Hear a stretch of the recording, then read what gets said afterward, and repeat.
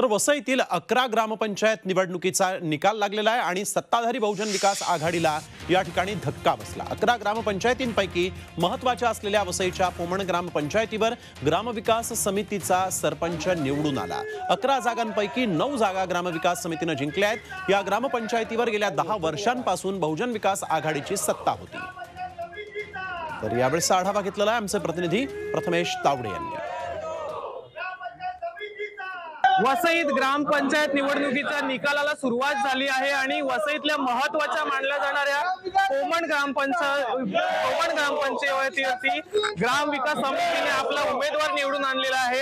आपण इथल्या यांच्याशी बोलूया. मला सांगा विकासाकडे कसं बघता? विकास जो ग्रामपंचायत मध्ये होतो गावच्या लोकांच्या सहमतीने होईल.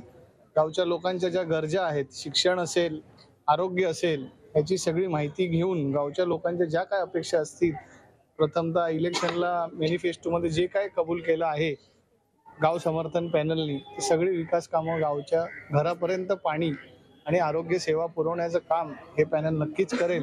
माननीय पक्षप्रमुख उद्धव बाळासाहेब ठाकरे यांचं विचार स्वीकारलेलं हे पॅनल आहे. मराठ्यांची तळपती तलवार म्हणजे